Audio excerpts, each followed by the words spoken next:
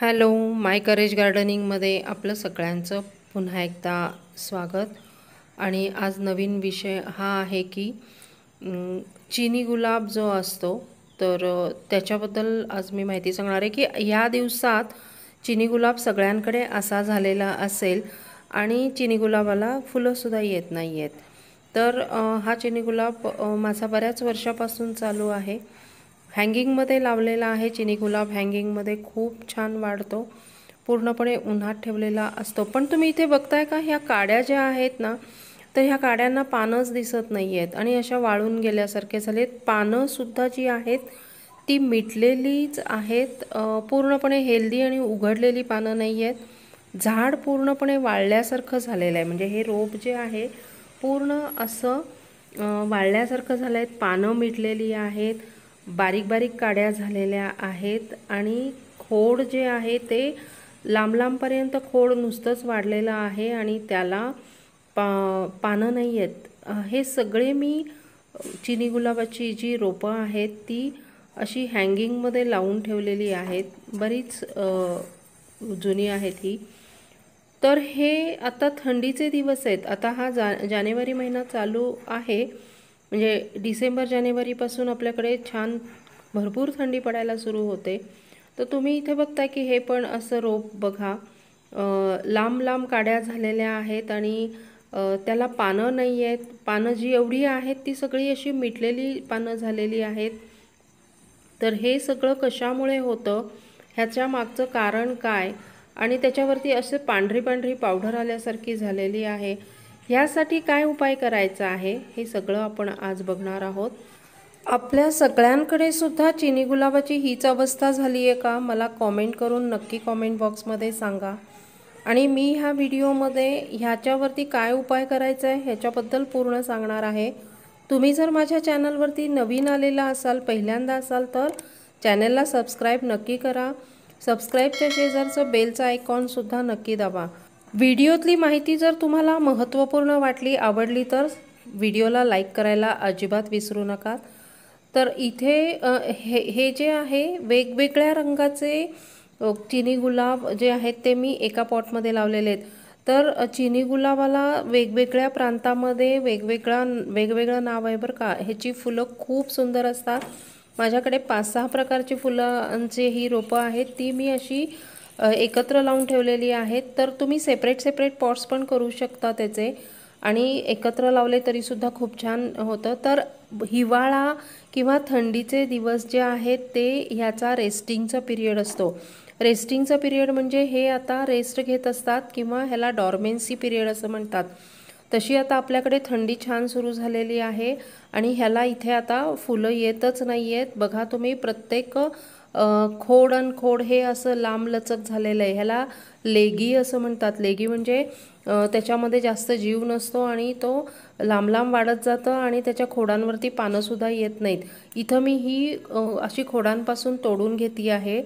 कारण आपल्याला उन्हाळ्यामध्ये फुलं घ्यायची आहेत. चिनी गुलाबाची फुलं ही उन्हाळ्यामध्येच फुलतात. त्याचा सीझन जो असतो तो मार्च एप्रिलपासूनच सुरू होतो आणि त्याची तयारी आत्ता आपल्याला करायची आहे.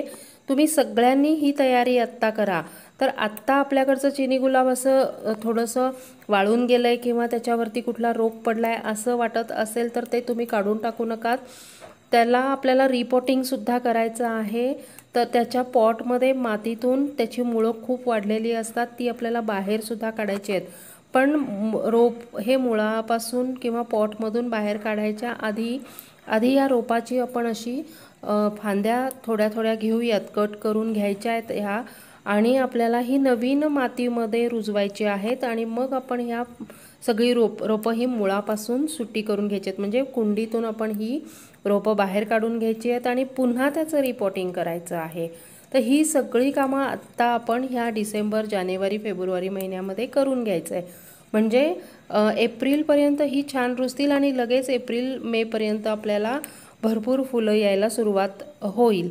तर आत्ता हा ह्याचा डॉर्मेन्सीचा पिरियड असल्यामुळे फक्त आत्ता आपण ह्याला टिकवून ठेवण्यासाठी मरू द्यायचं नाही आहे टिकवून ठेवण्यासाठी आपण ह्याला व्यवस्थित पाणी द्यायचं आहे. पाण्यामध्ये हे टिकतं. आता मी हे जे कटिंग्स करून घेतलेले आहेत एका टबाच्या पाण्यामध्ये हे घातलेले आहेत हे मी इथं स्वच्छ धुवून पण घेणार आहे. जर आता लगेच तुम्हाला हे रिपॉटिंग करणं किंवा हे दुसऱ्या पॉटमध्ये लावणं जमत नसेल तर तुम्ही अशा टबमध्ये हे काही दिवस ठेवू शकता आणि ह्याला खूप छान मुळं येतात. तर मी मात्र इथे हे अशी स्वच्छ धुवून घेणार आहे. असं हलक्या हाताने आपण घासून हे धुवून घ्यायचं आहे. म्हणजे ह्याच्यावरती आपण प मगाशी जे पाहिलं तर थोडंसं पांढरट असं पावडरसारखा जो किडीचा भाग होता तो सगळा निघून जाईल. हे सगळ्या म रोपांबरोबर म्हणजे सगळी जितकी चिनी गुलाबाची तुमच्याकडे आहेत त्याच्याबरोबर हे करायलाच पाहिजे. ह्याला वेळ लागतो बराच वेळ द्यावा लागतो पूर्ण दिवस पण जाईल तुमचा. रोपं कुंडीतून बाहेर काढायची आहेत त्याचे कटिंग्स करायचे आहेत खराब झालेली सगळी पानं काढून टाकायची आहेत किंवा खूपच अगदी बारीक वाळून गेलेल्या ज्या फांद्या आहेत त्या तुम्हाला उपयोगाच्या येणारच नाही आहेत आणि अशा प्रकारे आपण हे पाण्यात धुवून घ्यायचं आहे. आणि हे स्वच्छ ह्याच्यामध्ये आपण थोडंसं नीम ऑइल घातलं तरी चालतो. नीम ऑइलमुळे त्यामधली सगळी कीड पूर्णपणे निघून जाते. तर अशा प्रकारे आपण हे स्वच्छ धुवून घ्यायचं आहे. आणि मग हे आपण नवीन कुंडीमध्ये नवीन माती घेऊन आणि खत वगैरे त्याच्यामध्ये घालून चांगलं रिच कंपोस्ट घालून ते आपण लावायचे आहेत. कुठलीही फुलं देणारी जी रोपं असतात त्याला सगळ्यात महत्त्वाचं म्हणजे भरपूर खाऊ लागतो. त्याला भरपूर खा खाऊ जेव्हा आपण देऊ म्हणजे कंपोस्ट रिच कंपोस्ट जेव्हा आपण देऊ ते सुद्धा पोटॅशियमयुक्त फॉस्फरसयुक्त असलेलं खत जर देऊ तर ती चांगली वाढतात आणि भरपूर फुलं देतात. आणि दुसरं सगळ्यात महत्त्वाचं म्हणजे भरपूर ऊन लागतं. तर हे दोन पॉईंट तुम्ही नेहमी लक्षात ठेवायचे आहेत. इथं मी आणखीन एक हँगिंगचं पॉट घेतलेलं आहे. ह्याच्यामध्ये वाळू आणि माती हे मिश्रण केलेलं आहे. एकाच एक प्रमाण घ्यायचं आहे एक भाग माती जी गार्डन सॉईल असते ती आणि एक भाग वाळू घ्यायची. आहे वाळू ही कन्स्ट्रक्शनची वाळू घेतली तरी चालते. नदीकाठची वाळू घ्यायची आहे. वाळू कधीही समुद्रकाठची घ्यायची नाही आहे त्याच्यामध्ये मीठ असतं त्यामुळे आपलं रोप वाचणार नाही आहे दुसरं मी घेतलेला आहे हा वर्मी कंपोस्ट तर आपण शेणखत घेऊ शकतो किंवा लीफ मोड कंपोस्ट घेऊ शकतो. कुठलंही एक रिच कंपोस्ट घेऊ शकतो. किचन वेस्ट कंपोस्टसुद्धा बेस्ट असतं आणि ह्याच्यामध्ये आपण नीम पेंट घालायचीच आहे. नीम पेंट आणि फंजीसाईड घालायचीच आहे. इथं नीम पेंट मी घातलेलं घेतलेलं आहे. तर चांगलं मूठभर मी नीम पेंट इथं घालणार आहे. हे चिनी गुलाब हा एक सकलंट प्रकारामध्ये मोडणारं रोप असल्यामुळे आपण ह्याला नीम पेंट आणि फंजीसाईड हे घातलंच पाहिजे. तुम्ही लक्षात ठेवा कुठलंही नवीन रोप लावत असताना नीम पेंट आणि फंजीसाईड आपण घालायचंच आहे. हे व्यवस्थित चांगलं मिक्स करून घ्यायचं आहे आणि मी बाहेर मिक्स करून घेते आणि जे माती आणि वाळूचं मिश्रण आहे त्याच्यामध्ये हे मिक्स करून घेणार आहे. तर आपण निमपेंड जेव्हा घालतो तेव्हा मातीतूनच कुठलाही फंगस हा लागत नाही आणि मुळं मातीतूनच हेल्दी असतात आणि त्यामुळे फांद्या आणि वरची येणारी फुलंसुद्धा ही हेल्दी असतात. हेल्दी तयार होतात. म्हणून आपण नेहमी सॉईल मिक्समध्ये नीम पेंड हे ॲड केलंच पाहिजे. कुठल्याही खतं विकणाऱ्या दुकानामध्ये तुम्हाला ते सहज उपलब्ध होईल. नीम ऑइलसुद्धा तुम्ही खताच्या दुकानातूनच घ्या. मेडिकलच्या दुकानातून घ्यायची गरज नाही आहे त्यात यात काही फरक नसतो खरं तर. पण खास खतांच्या दुकानातून हे जर आपण घेतलं तर आपल्याला योग्य प्रकारचं नीम ऑइल आणि नीम पेंड मिळतं. इवन तुम्ही फंजीसाईडसुद्धा खतांच्या दुकानातून घेऊ शकता. तर इथे मी हे जे कटिंग्स असे धुतू धुवून ठेवले होते मगाशी ते इथे मी घेतलेले आहेत. ह्याचे आपण आता अजून छोटे छोटे तुकडे करणार आहोत. चार तीन ते चार इंचाचे आपण तुकडे करू शकतो. त्याच्यापेक्षा जरी तुमच्याकडे लहान असतील तरी चालतील. हे आपल्याकडे जे जुनं रोप होतं त्या रोपापासून आपण हे कटिंग तयार करतो. पण तुम्हाला जर कुठे दुसरीकडे जरी मिळाले कटिंग्स तर एक ती किंवा दोन इंचाचे तुकडे तुम्ही दोन ते तीन इंचाचे एक नव्हे दोन ते तीन इंचाचे तुकडे तुम्ही करून हे मातीत खोवू शकता. तर आणखीन एक महत्त्वाचा पॉईंट इथे असा आहे की जेव्हा आपण कुठलंही कटिंग मातीमध्ये लावतो सॉईल मिक्समध्ये लावतो त्यावेळेस ते सॉईल मिक्स हे कोरडंच असलं पाहिजे. जसं इथे तुम्हाला आत्ता समोर व्हिडिओमध्ये जसं दिसतं ना तसं अगदी कोरडं असायला पाहिजे.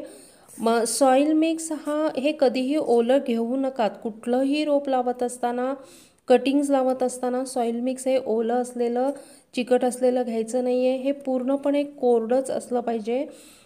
ह्याच्यामध्ये जी हवेची पोकळी राहते जेव्हा आपण ह्याच्यामध्ये पाणी घालतो त्यावेळेस ती हवेची पोकळी व्यवस्थित भरून निघते.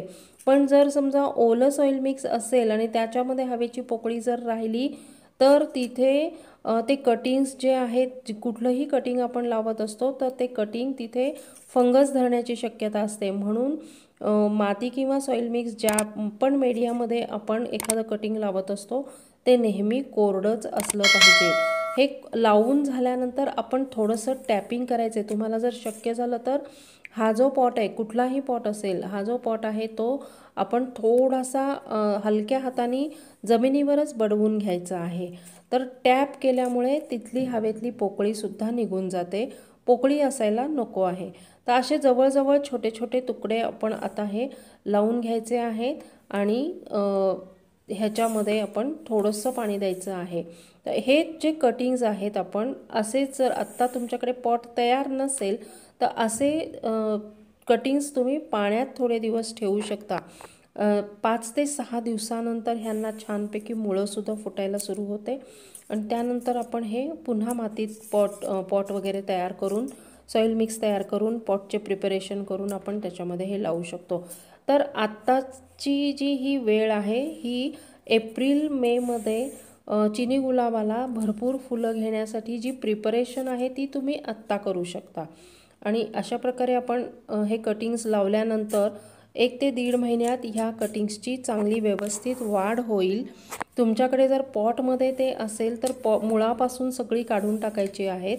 तर अशा प्रकारे मी हे लावलेलं आहे आणि ह्याला आता थोडंसं पाणी देणार आहे.